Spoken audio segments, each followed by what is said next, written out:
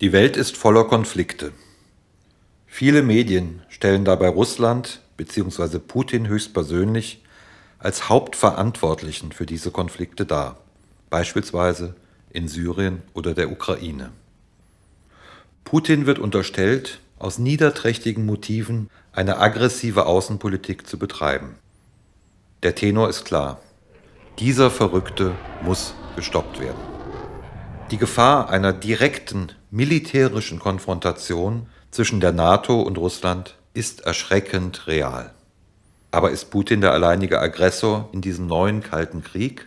Die Beziehungen zwischen dem Westen und Russland sind seit dem Ende der Blockkonfrontation wechselhaft. Betrachten wir sie in einem Beziehungsgraphen, in dem Phasen der Spannung und der Entspannung dargestellt sind.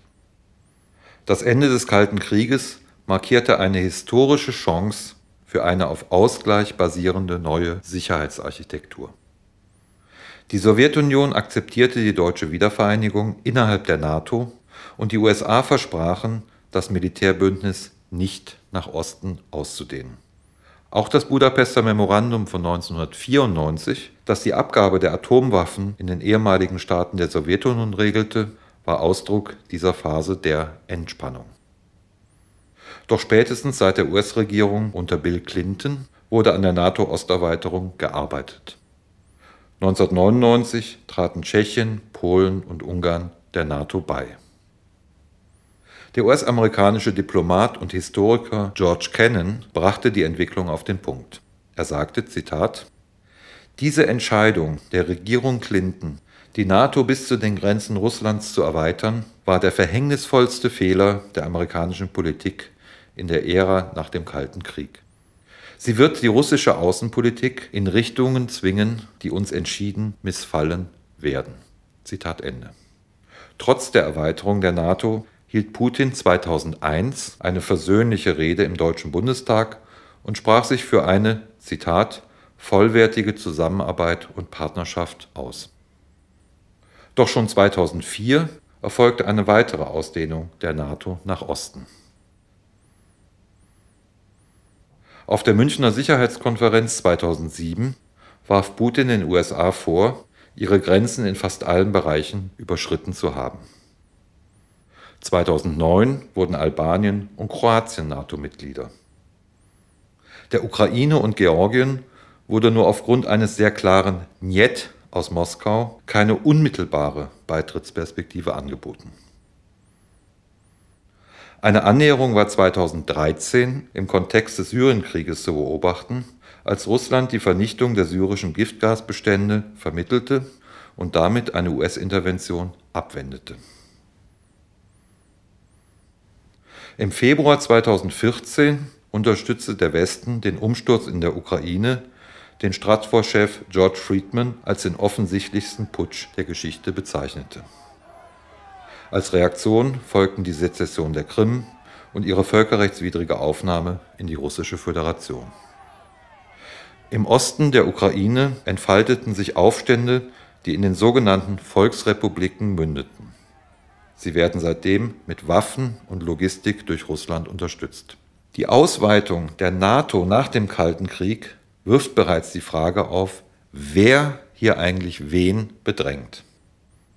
Durch die Osterweiterung hat auch die EU ihre politischen und wirtschaftlichen Interessen in den Ländern durchgesetzt, die ehemals Teils der Sowjetunion waren. Im Kontext des Krieges in der Ukraine ist es nicht nur zu diplomatischen Verstimmungen gekommen, die NATO hat auch massiv ihre Militärpräsenz in Osteuropa ausgebaut, zuletzt vor allem durch die Operation Atlantic Resolve. Mehrere tausend NATO-Soldaten sind dadurch in Osteuropa stationiert. Auch Russland hat an seiner Westgrenze die Präsenz von Truppen erhöht. Nach dem Brexit-Referendum und dem Wahlsieg von Donald Trump sind die Rufe lauter geworden, die EU zu einer militärischen Supermacht auszubauen. Um das 2%-Ziel der NATO zu erreichen, soll nun massiv aufgerüstet werden. Wie die weitere Entwicklung aussieht, hängt auch von uns ab. Eine weitere Eskalation könnte zu einer direkten militärischen Konfrontation zwischen der NATO und Russland führen. Die Folgen wären völlig unberechenbar. Nicht umsonst sehen Forscherinnen und Forscher die Welt so nah am Atomkrieg wie seit 1953 nicht mehr. Was wir wirklich brauchen, ist eine neue Entspannungspolitik. Hierfür muss die gegenseitige Dämonisierung aufhören und es muss verbal wie militärisch abgerüstet werden.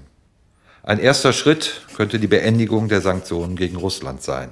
Anstelle der NATO brauchen wir ein kollektives Sicherheitssystem, unter Einbeziehung Russlands. Frieden in Europa kann es nur mit, niemals gegen Russland geben. Ein guter Anfang wäre es, die Erweiterung der NATO auszusetzen und die Stationierung von NATO-Truppen in Osteuropa zurückzunehmen. Um diese Ziele zu erreichen, brauchen wir einen Politikwechsel. Diesen Politikwechsel können wir nur erreichen, wenn der gesellschaftliche Druck groß genug ist in den Parlamenten, auf der Straße, in den Gewerkschaften, im Alltag. Denn heute ist es wichtiger denn je, für Frieden und Entspannung einzutreten.